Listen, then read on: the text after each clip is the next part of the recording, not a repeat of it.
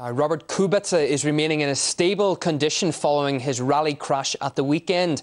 The Formula One up-and-comer visited by Lotus Renault stablemate Vitaly Petrov on Tuesday. Now, the Russian turning up at the Santa Corona Hospital in Liguria to see how 24-year-old Kubica was holding up after undergoing surgery a few days earlier.